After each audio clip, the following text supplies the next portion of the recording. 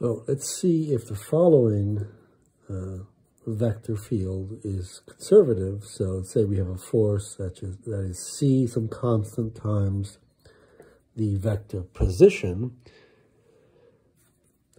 Um, so we could take the curl of f, and uh, if this is in um, spherical coordinates, then we would have, um, well, let's, let's write this out in uh, Cartesian coordinates. So what we mean by this is C, uh, X, Y, and Z components. Um, so if we want to take the curl of F,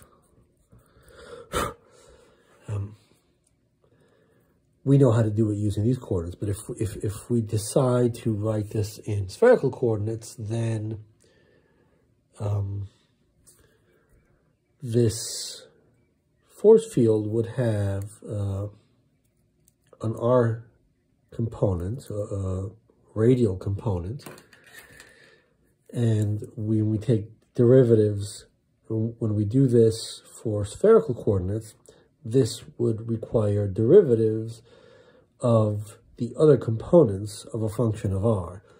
And so we can see that that's zero, but if we do it in Cartesian coordinates, we'll see the same thing. It'll just be more familiar to us. So we take x, y, and z derivatives of x, y, and z components, but they're always derivatives of a different component. So here we take dy of z, that's 0. Then we'll take the uh, x, dz of x, that's 0. Um, here we have derivative of x and y. Uh, here we have derivative in x of z, uh, derivative in z of y, and so on. So this is going to be 0. So it satisfies the, the um, conditions for being a conservative force field. So it must be true that there's some function u that satisfies that. So we know that this looks like that. And so this u function, when we integrate, looks like this plus some function of y and z.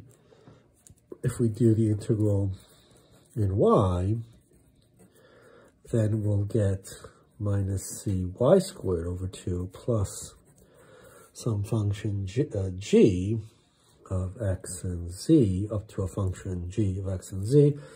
And if we look at this, we get minus c times z. So u is minus z, minus c, z squared over 2 plus some function, most some function of x and y. So all of these are compatible if u is uh, minus c over 2, x squared plus y squared plus z squared, plus at most some number, some constant.